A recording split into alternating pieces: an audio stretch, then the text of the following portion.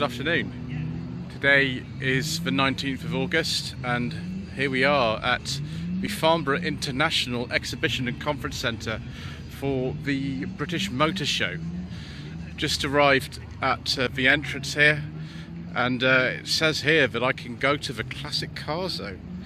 That sounds interesting. There's also a select electric motor show, driving experiences and all kinds of other things.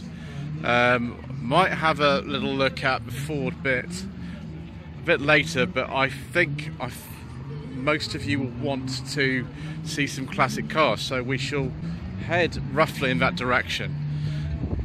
Now, with all these uh, things, we're going to have wind noise, we're going to have announcements that interrupt us, we're going to have cars burning rubber on the track, which um, will contribute to unnecessary background noise um, I will get information wrong, I might fall over. Uh, that's just the way the things go, and that's why they're called the slightly shambolic shuffles.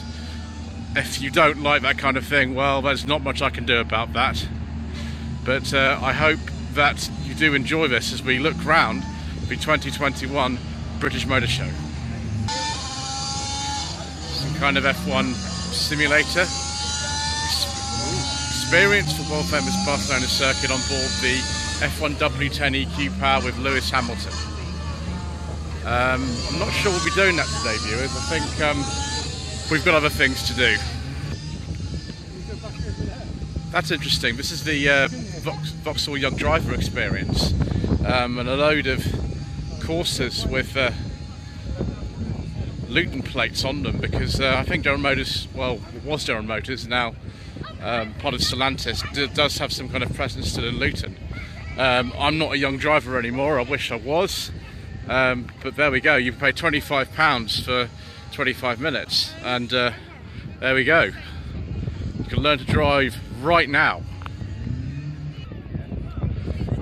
Paul Swift stunt driving experience, and Mr. Mike Brewer from television, whatever television is, and you can pose and have your photograph of them just over there. I'm not really sure that I need to do that. I think I'd um, prefer to come and look at some of these things from the Association of um, Central Southern Motor Clubs. Modified pre-facelift K11 Micra. Interesting. All stripped out. They do they do race these and have done for absolutely years. That one still seems to have a coloured rev counter in it. It's quite an early one, that. Even Infiniti, wow. Didn't realise Infiniti had um, any kind of racing credentials at all. I, I think this is a G35. I, I, don't really know much about Infiniti's viewers. It's just the, uh, the way that it goes in this channel. We sometimes have gaps in our knowledge. However, we do have ooh, free facelift MGZR Hang on. They never made an MG ZR 170. This must be a 160 that's been modified. And there we are, there's a bit of information about that. Yeah, it must be a bit, a bit modified. ZR 170 specification, so this must be a racing spec at least. It's got the um, facelift um, indicator of wiper stalks in it. And those are the those sort of there are the um, fa facelifted um, rear lights. Look a bit like a Toyota Altezza once.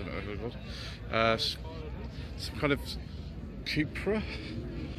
So see, um, is this like a Formentor or is it just some kind of modified Leon? Answers on a postcard. Oh, we're a Nissan Silvia. This looks like an S14 one. Now, I'm very bad on this sort of thing, dear, so if I've got that wrong, please do forgive me. But that looks pretty mean. It's even got some funny fans in the back. Oh, a Saxo, absolutely typical kind of rallycross type car. It's a facelifted one.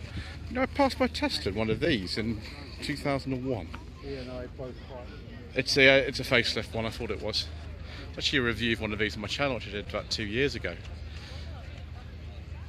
I bet that's uh, got 1.6 um, engine in it for the Peugeot 106 GTI. So it must be a VTS or something. Ooh, This is more like it. MG Midget 7172 plate. It's actually 72. Round arch type. Looks uh, fairly standard there apart from a gear loop actually. Bet that's quick. It's probably it's probably had a more powerful engine put in it than the standard 1275. Yes, it has. It's uh, had a K series put in it from um, an MG TF135. I imagine that'd be quite fast then. Uh, some kind of modified Mini. Don't ask me to tell you what type that is, because I don't know. Ooh, auto test. That'd be fun on that.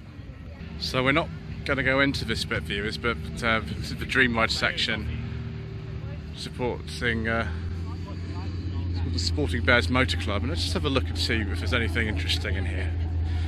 Well, certainly is, viewers. It's got a Wiesmann. Ferrari F430, I think that is. I'm very bad on supercars, viewers. But it's not, that's not why people watch my channel anyway. However, I see we can get a, a little bit more of a look at this Daimler SP250 Dart. Oh, and look who's here as well. yes, yes, he's here.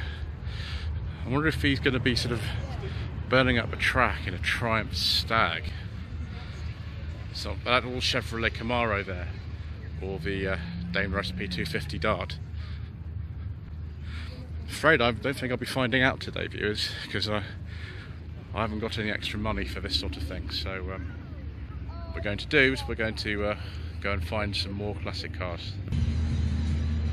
Actually, I probably need to cover these electrified brand new Fords before I head in there because I, I just don't know actually when I'm going to get a chance to come back here. It might not happen. So first thing is the Transit Custom Nugget.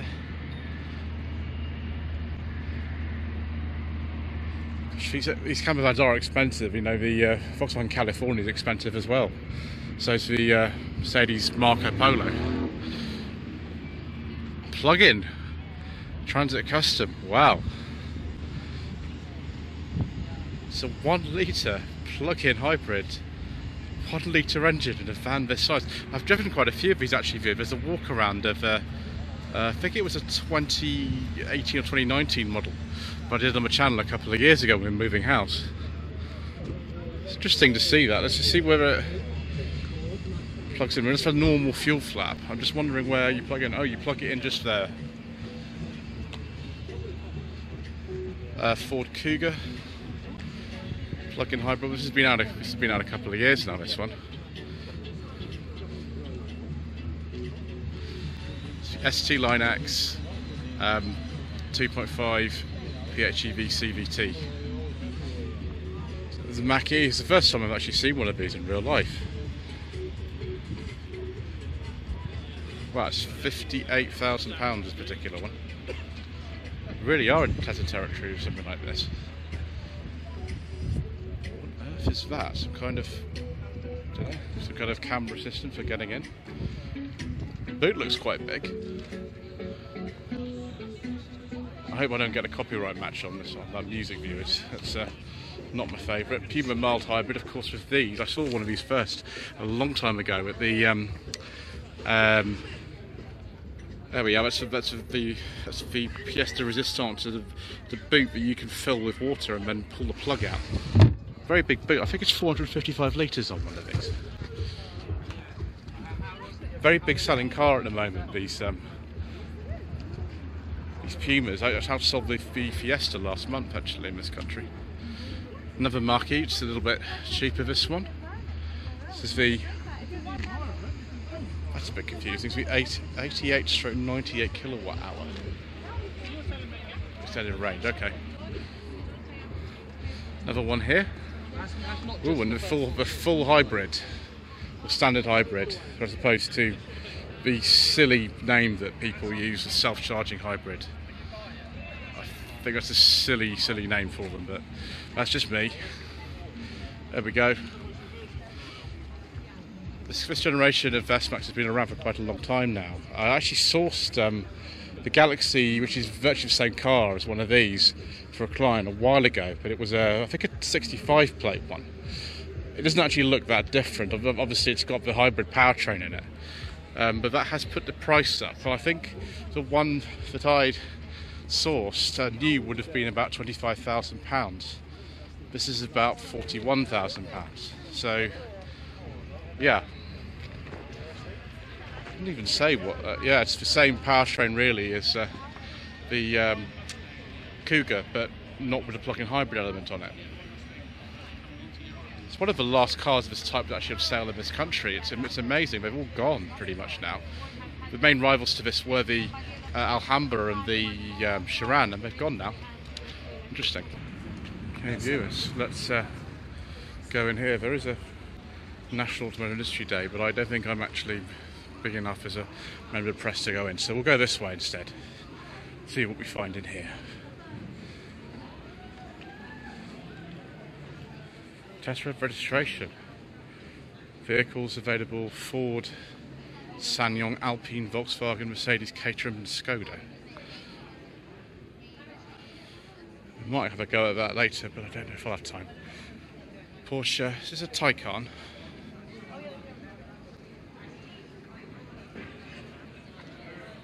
certainly is. And then um, here is a Yanni Mice competition. Oh yes, we know, we know Yanni. There's quite a few manufacturers in there. We'll take a look at that later.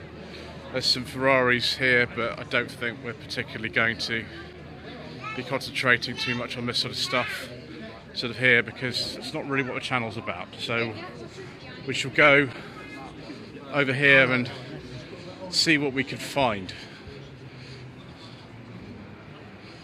The city car zone. Suzuki Ignis actually got a review of one of these on the channel, funnily enough. Volkswagen Up GTI. MG3, this is a, actually what I, dro what I drove to the show today. I drove in an MG3, which is, uh, which is interesting.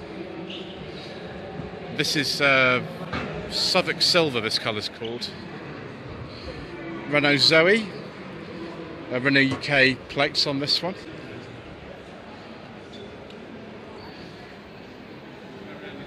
Interesting. I, I, thought Nissan always had their press cars on O plates. This is the V. Oh well. It's interesting. It's a 69 plate, so it's 18 months older. So this one. Smart 44, this is the new one. It looks like these cars have been bought off some kind of uh, press feed, I think. Uh, but Auto Express have uh, been uh, Citroen C1, Nissan Juke, new one again. This is a very early one. There we go. It's got no plate on it. Uh, Fiat 500 hybrid. It's amazing. This design has been going since 2007. Is this called the Hey Google model? Fiat 500 mild hybrid Hey Google. It's an interesting name for a car. Ah, the new Honda Jazz. There's a review of one of these on the um, Planet Auto channel. I've actually left the boot open of this one for some reason. But you can actually open the door. This is a bit like it used to be back in the uh, the old days with the motor shows, where you could actually kind of get in sort of look at things. It's a mild hybrid as well, of course, we couldn't advertise it too much. BMW 4 Series Coupe. I really like this colour view. Oh my gosh. Is this dark green in a beige leather interior? It is dark green in a beige leather interior. Ooh. Oh, I like I like that colour scheme good. I don't know about the car particularly, but I do like the colour scheme. Yeah, it's an M440 with a forbidden fuel engine. You better uh, just to move away from it.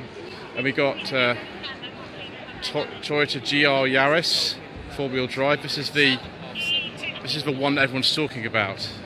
Toyota press plates, of course, on this one. It does actually look quite appealing. I, I think it actually, it actually, the colour really stands out far more on camera than it does in real life. Funnily enough. Volkswagen ID3 will just pass by that because we've actually had one of those on the channel, full review.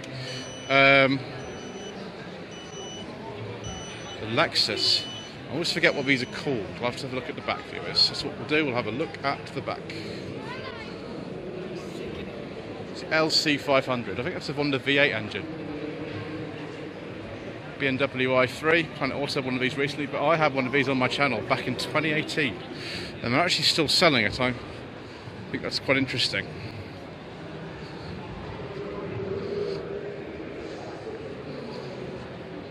Of course, Planet Auto had one of these recently too.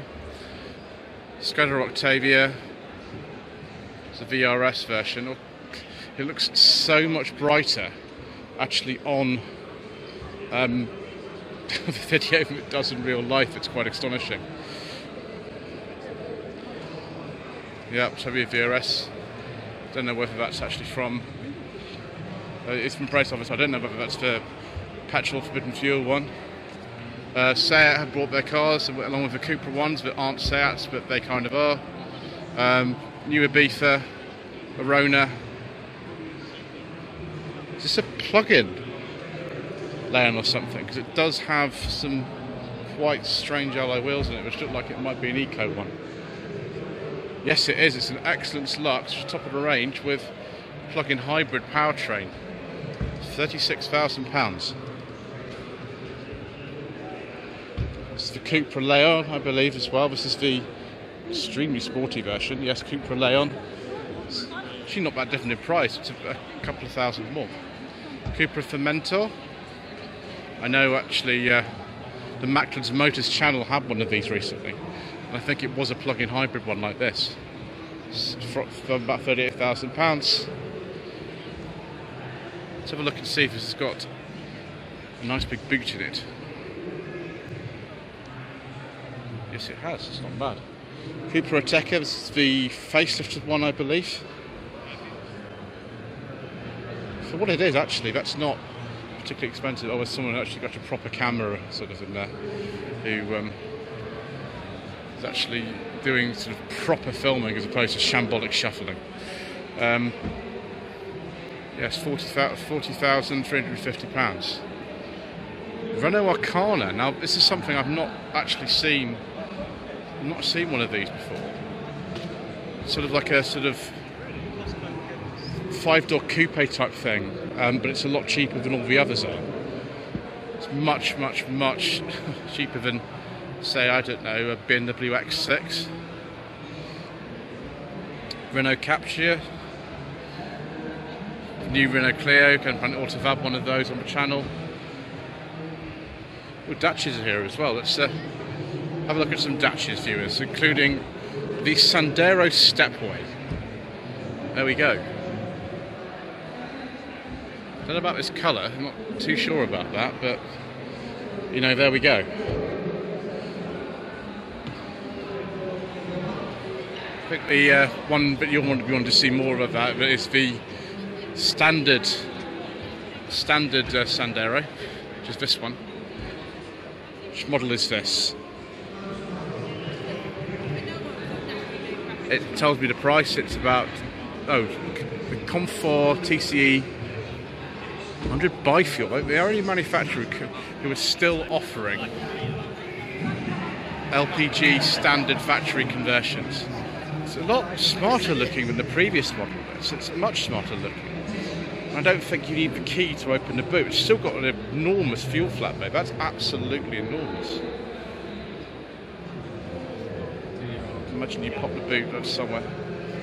It's 21 plate. Duster, of course. This came out a couple of years ago now. It's um, still on the sort of older platform that a lot of Dacia models were based on for a long time. Uh, this will probably be a top of the range one as well. It's a, it's a Privilege.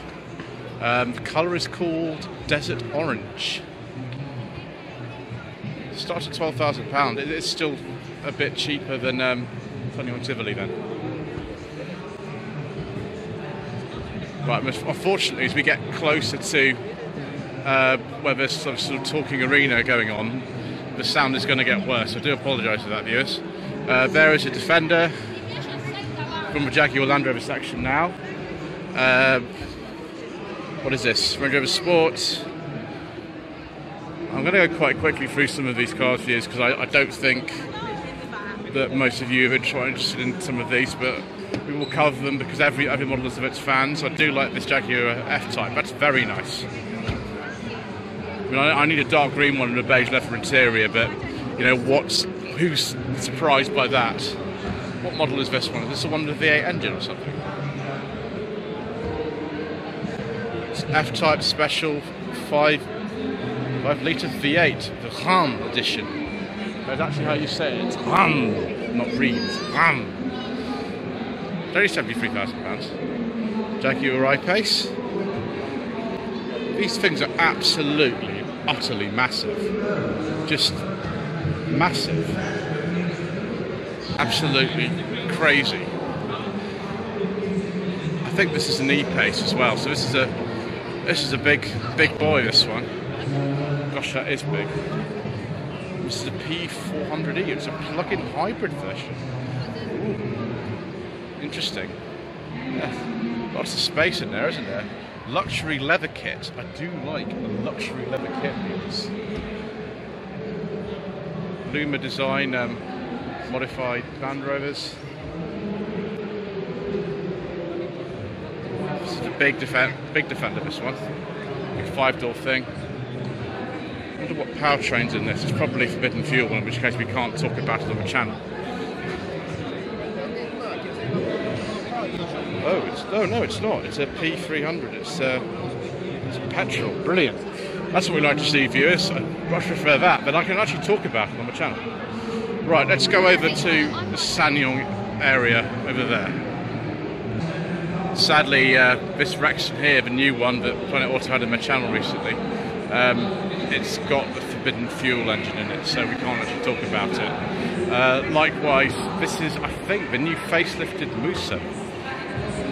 I'm going to get a video for this for the Planet Auto channel, if this is the new one. Yeah, that's the new one. Look at that front end. And the new, the new Tivoli. Now we can talk about this, if they've stuck the forbidden fuel engine in it. Ah, excellent. Same one I drove. The 1.5 Ultimate Automatic, top of the range of these. Hmm. Yes. We've got a full review of bodies on the channel anyway, so no need to sort of talk too much about it. But that back end does look quite different from the one that we have. And a Korando Ultimate. I hope this has got a petrol engine in it, viewers. Oh no, it hasn't. Right, well we'll have to uh, we'll have to go elsewhere then. Can't talk about those. So we have the uh, Tiguan here. Recently had uh, the previous Tiguan um, on my channel. Then the GTX version of the ID4. This is the GTI sporty thing that they have. Oh, it's only £712 a month That appears to be a bit expensive. Mind you, it's a bit more affordable if you look down there at the arrangements. The T-Roc Cabriolet, it's one of the only cabriolets actually currently on the market. Unbelievably. I mean, like, I don't know, I kind of like the look of that. I'm not, I don't know why, it's weird. I mean, I am a bit weird. What um, stand is this? Oh, I was said, said stand themselves. Well, we don't really need to look at that too much because I've spotted something that I think might be actually a bit, a bit more sort of um, exciting for you. The new Outback. It's actually got an electric tailgate. I think Subaru has now followed a lot of manufacturers and has gone entirely. Uh, petrol stroke hybrid. I don't think they have forbidden fuel engines anymore. There we go, yes, exactly. Boxer engine. And this is the XV. These are the only two models that are sold in this country at the moment for Subarus, the XV and um, and the Outback. This one starts at about thirty-one and a half thousand pounds. So it's got the uh, some hybrid version. I think, yeah, the XV e-Boxer. I think um, Planet Auto have got uh, videos on these cars if you want to see them. But as for me, I'm going to continue to another part of the show because we're running out of time for this first part now. Ooh. Ooh. Sierra RS Cosworth hatch. What's this? The uh, car crowd. You can own a share of a mm, lovely car like this. That's not bad, I like that. How about a Spyker as well? I think I prefer the Sierra to the Spyker, but maybe some of you don't, maybe some of you are much into them. Ooh, I think we found the right bit of the show to be in. Do you know what, viewers? I think we'll leave this first part here because we've discovered um, the classic section. I said I was hinting that we were going to find it, and I think we have. So we better put this in a different part. Thank you ever so much indeed for watching this slightly shambolic shuffle around the 2021 British Motor Show. Please don't forget to subscribe to the channel for future parts. Like this video, leave a comment below. It very much uh, helps us out. Social media links are down below. Thank you once again.